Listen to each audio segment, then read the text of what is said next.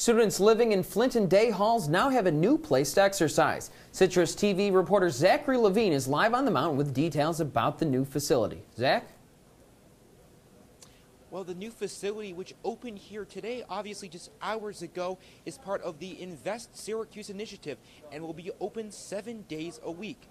Now, the hours differ on the weekend and during the weekdays. Monday through Friday, they'll be open from 8 a.m. to 11 p.m., and Saturday and Sunday from 10 a.m. to 11 p.m. The gym includes cardio equipment, weight machines, dumbbells, and other training stations.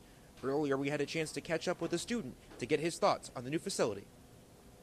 Well, I live in Day, so especially when it was like a blizzard outside, if I wanted to work out, I'd have to go all the way down to the women's building now, which was, you know, it was walkable, but this is inside the building.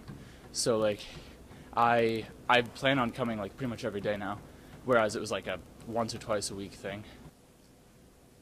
While other campus framework projects that are ongoing or newly completed, for example, include the gender neutral bathrooms in the Hall of Languages on the first floor that are open now, as long as as well as the masonry repair project, of course, that has so much scaffolding on Crouse College, guys.